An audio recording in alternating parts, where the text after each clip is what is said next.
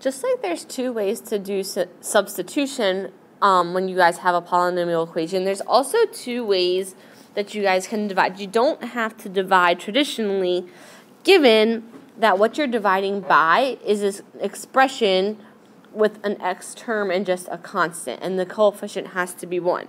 So we can use synthetic substitution to do that example from number 1 in your notes. So if we still, we would still set it up the same way. So when you're trying to fill the inside of your box, you still pull those coefficients out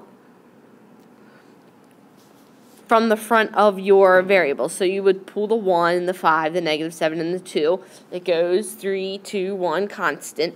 But what happens here is that if we're dividing by x minus 2, that's the expression.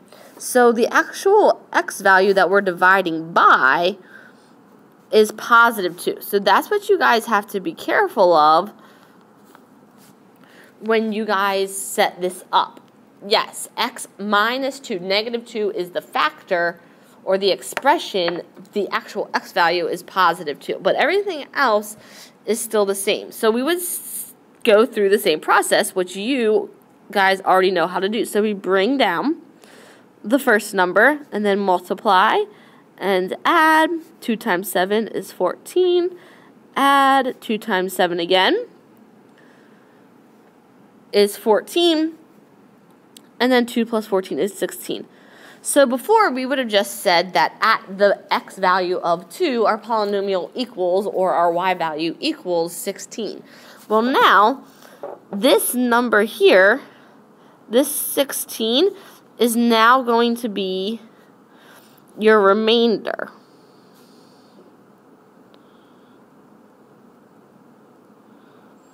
And everything after it is a placeholder, just like that first number is a placeholder, it's the remainder. Your 7 is your constant. The next value is your x. The next value is x squared. If you had more values, it would just continue on. Then the next value would be x cubed. So that last value is your remainder. So when you divide, you get the same thing that you should have gotten the first time we did this. So your x cubed plus 5x squared minus 7x plus 2 divided by x minus 2 gives you x squared plus 7x plus 7 plus our remainder of 16 over x minus 2. So, the steps are still the same. Process as substitution, but now we can use it for division. So this only works if you have an x with a coefficient of 1 and then plus or minus some number. So you can't divide using synthetic division if it's 3x plus 2 or 5x plus 1.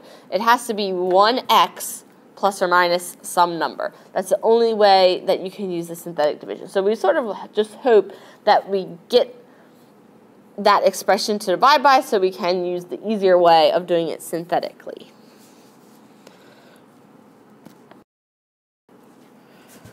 And that's all your remainder theorem is saying too. So I just told you that that last place value is the remainder, and that's what this is saying too. So when you have a polynomial f of x, and it's divided by x minus or plus a number, then the remainder is r equals f of k.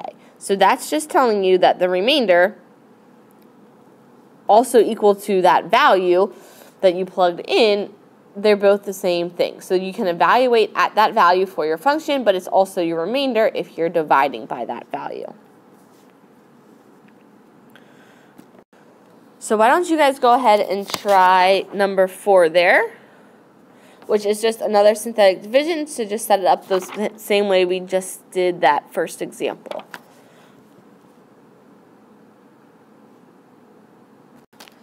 Your second theorem here is the factor theorem. Um, so if we divide by some factor, so like we just divided by x plus 3 and we divided by x minus 2. If you guys divide by whatever that value is and you get a remainder, of 0, then that's telling you the expression you just divided by is a factor. It's like saying 15 divided by 3 gives you 5, no remainder, because 3 and 5 are both factors of 15. If you tried to divide 15 by 6, you would get 2 remainder of 3. So 6 is not a factor of 15.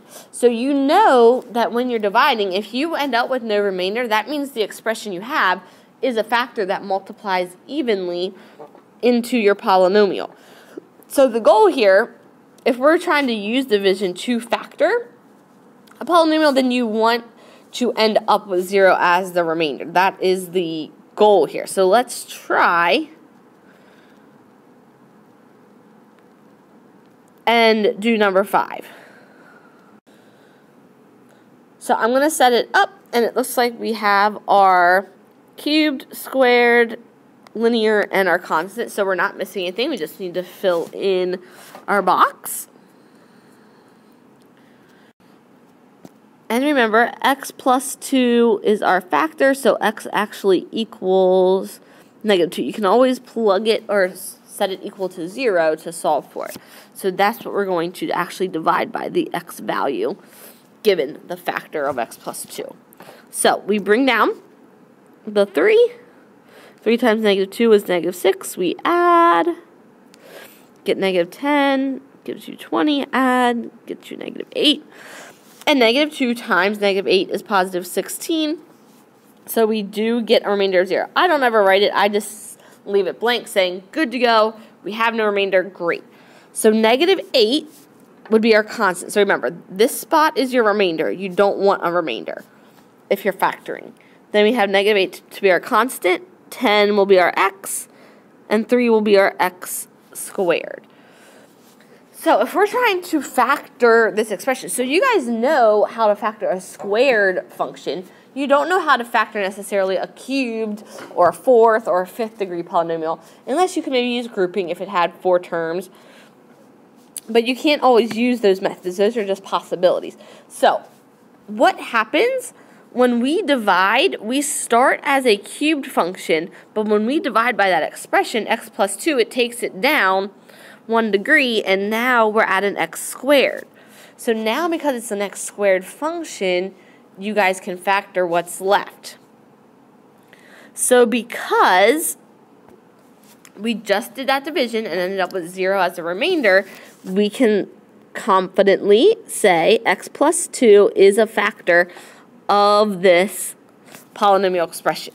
When we divided, we got, were left with 3x squared minus 10x minus 8. So, when we pull out that x, because if you did x times x squared, it would get you back to the x cubed that you started with, we can factor the 3x squared minus 10x minus 8. So, just keep that x plus 2 the only thing that multiplies to get us 3 is 3 and 1, so 3x and 1x. Multiplies to get us 8, 2 and 4. So if I'm trying to add up to negative 10, 3 times negative 4 would give us negative 12, plus 2 times x gives us 2. So negative 12 plus 2 gives you 10. So that would be factored. So x plus 2, 3x plus 2, and x minus 4 are all factors of this polynomial. If you multiply them all back together, you should come back to what you started with, 3x cubed minus 4x squared minus 28x minus 16. So you have to find, you have to factor out that first expression and divide by that first to get it down to a squared polynomial, which you guys know how to work with because that's what you're you know how to factor no matter what, as long as it is factorable. But you have to get it down to that x squared by pulling or dividing by one expression first. So go ahead and try number six, and I am going to do number seven.